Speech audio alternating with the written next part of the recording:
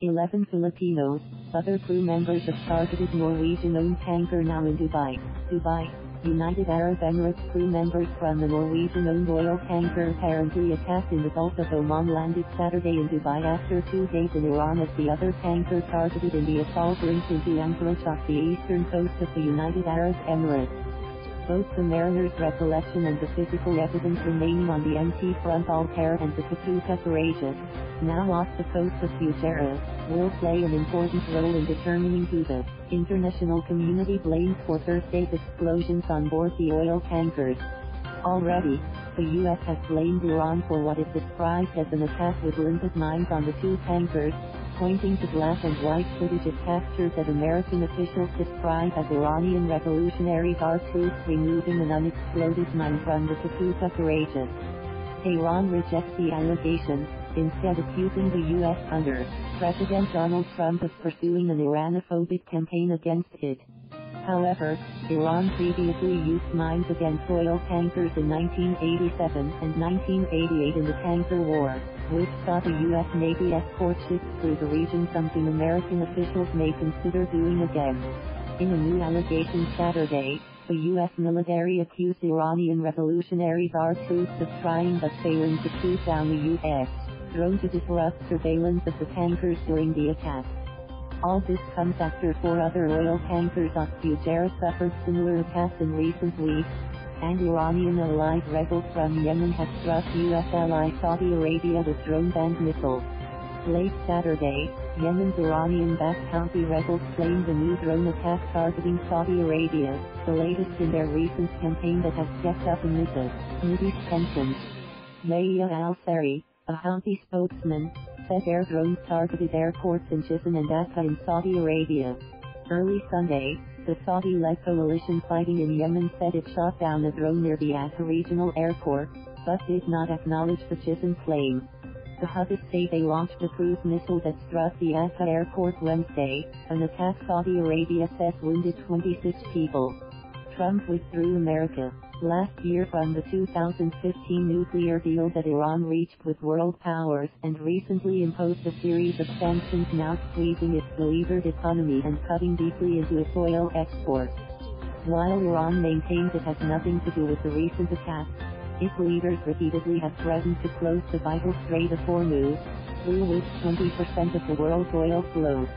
On Saturday, Associated Press journalist the crew members of Front Altair after their Iran Air flight from Bandar Abbas, Iran, landed at Dubai International Airport. Ten of its 23 mariners walked out to be greeted by officials who earlier could be heard saying the others would be catching connecting flights. The officials repeatedly refused to identify themselves to journalists. They and the mariners declined to take questions. The Front Altair caught fire after the attack Thursday, sending a thick cloud of black smoke visible even by satellite from space. A passing ship rescued the mariners, who later were turned over to Iranian officials. Iran took the mariners to Jask, then later Bandar Abbas before putting them on the flight Saturday night. Its crew was comprised of 11 Russians, 11 Filipinos and 1 Georgian.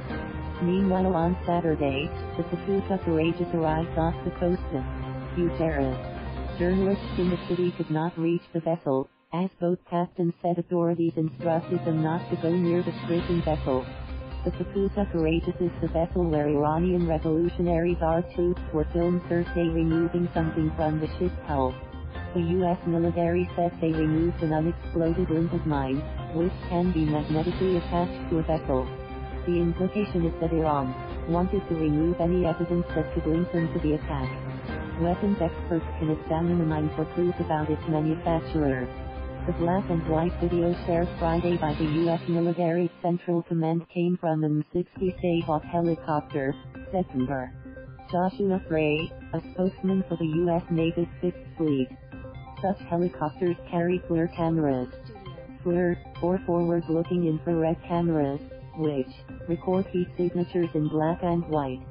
In a statement released Saturday, a spokesman for U.S. Central Command said a U.S. drone had been observing the front Altair as it was on fire.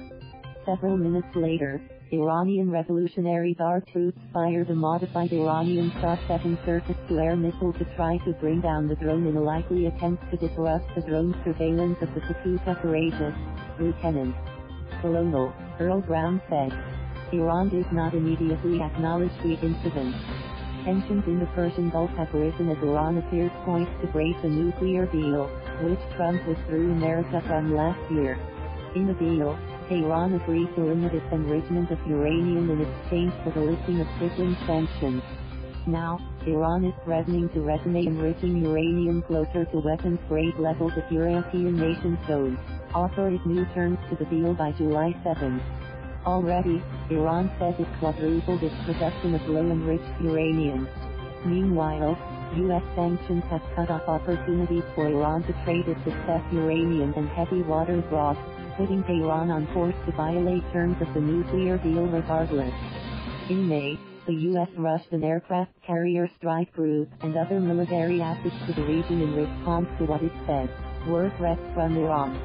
Regardless of who is responsible, the price of a barrel of benchmark Brent crude spiked as much as 4% immediately after the attack Thursday, showing how critical the region remains to the global economy.